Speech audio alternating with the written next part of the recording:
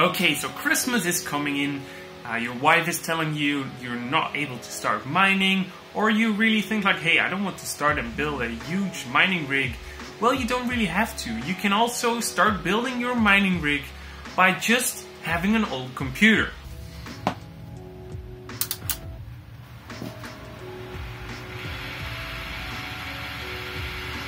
So I still have a really old computer that's about 10 years old. Was my first gaming PC, that is where it all started. I overclocked the CPU and that's how all the stories go. But really shortly, I can help you turn a really old computer into a mining rig.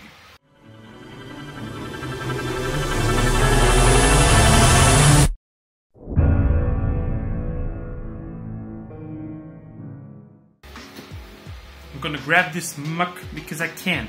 So today's video is gonna be about it's it's like I don't know how do how do I say this?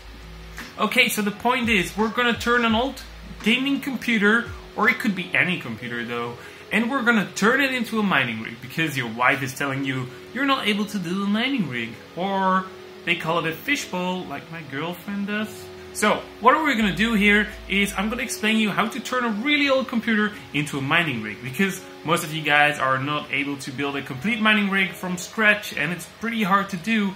So, building it from an old computer, we can use the parts that are already in the computer to start making the mining rig. So it's to be really simple. We need to we need to do a few upgrades, of course, but I'm to try and explain this to you guys because this is going to be mostly common for all of you.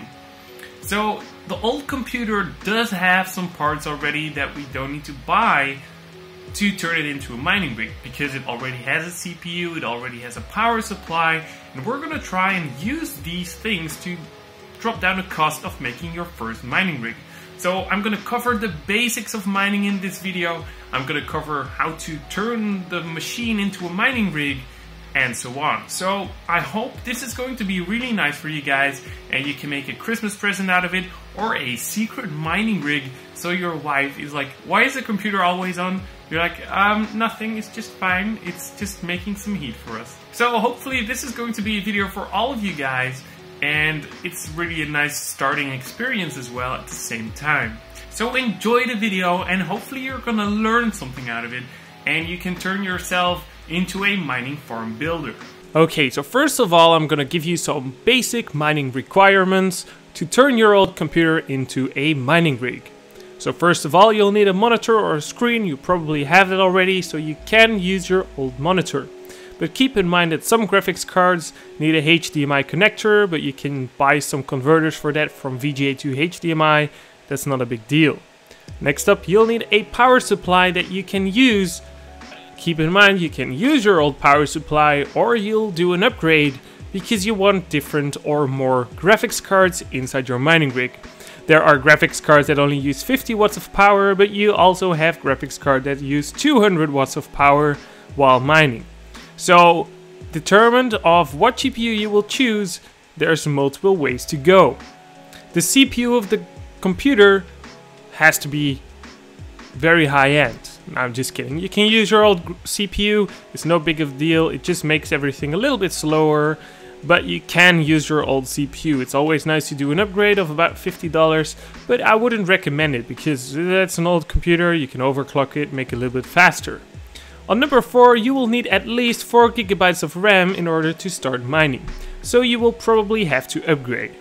We have uh, kind of a little bit of a problem. We have DDR2 memory, so it's gonna be really expensive to get 4 gigabytes of RAM because in these days it was really expensive to have 4 gigabytes of DDR2 RAM. But I think these days it's gonna be really damn cheap.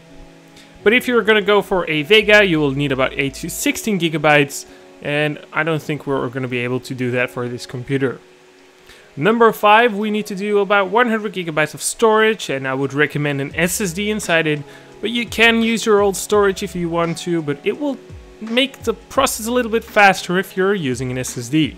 It will speed up the mining, loading times, it will speed up the driver installs, it will speed up Windows, it will speed up just everything. So it's really recommended to buy an SSD.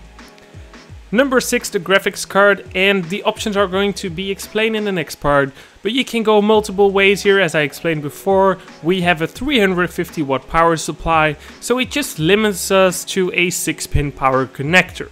On number 7 we have the motherboard. You can use your old motherboard but this will also limit your choice of GPUs that we can put into our system. Like we do we have a single why a single GPU? Why did I buy that in these days? But we have a single GPU slot that we can put into the computer and we also have a single PCIe 1 slot that we can put a second GPU into but then we'll need to be making use of a riser.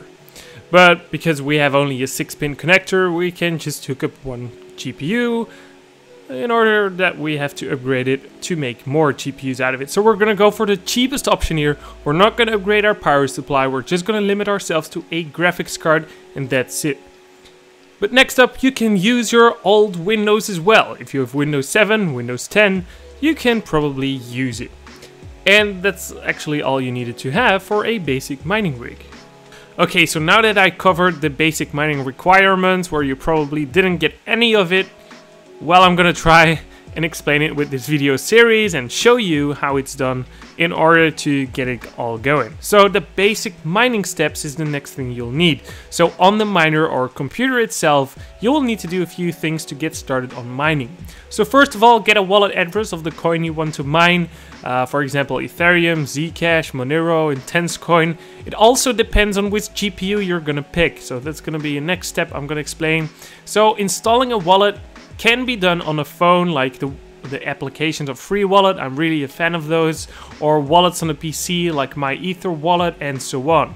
IntenseCoin also has wallets on the PC itself, so you will need to be installing that and it should look like this really odd numbers and letters across each other. This is for example a Bitcoin address, but you'll get the thing. Okay, so number two, you need to get a GPU for the coin you want to mine. So this is so difficult for everyone else because everyone has a different system. So I'm not really able to do this for you, but you'll need to try and figure it out yourself on the hints I'm gonna give you. So you can do some Ethereum mining, Zcash mining, Monero mining, and all GPUs are slightly different. So you are limited to your old computer. For example, I'm going to show you my ID. We have a 6-pin power connection. We can only use about 60% of the 350 watt power supply and that's about 210 watts. And you may think like, hey, why can you only use 60%? Well, that's actually the sweet spot of all power supplies in the world to be the most efficient. So this is going to save you a few watts if you limit yourself to the 60% and it's also going to increase the lifespan of your power supply. But if you are limited to your 6-pin power connection and only 210 watts, you say, yes, we are limited to a GPU. If we don't upgrade the power supply, we are limited to the single 6-pin VGA connector we have. For example, if you're going to use an AMD Vega, it has two 8-pin connectors, so we cannot use that. We need to upgrade our power supply. But if we want to go to the least amount of money we're going to put into this computer, we're going to limit ourselves to a 6-pin power connection card. So we need to find the graphics card. You can always go on buriedone.com and you can see like which graphics card is the best at which specific coin as you can see here below. Uh, you can see the full size image on the website and you can pick out your graphics card like AMD, GeForce or Vega versions of AMD and you will see like hey there's really high-end graphics cards that use like 250 watts but for example an RX 550 is only gonna use 50 watts so you can really like base yourself like, hey, I can only use 200 watts.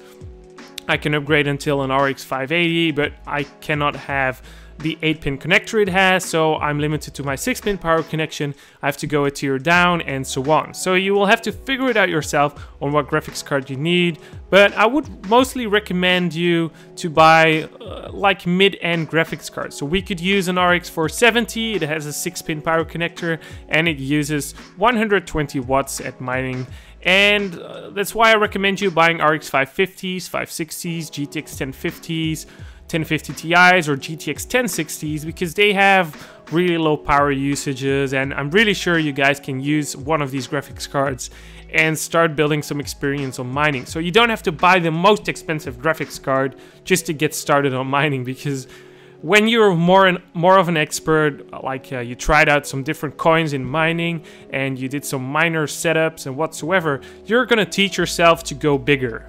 You don't have to go full size in one go because I started out with my gaming computer at first with my GTX 970.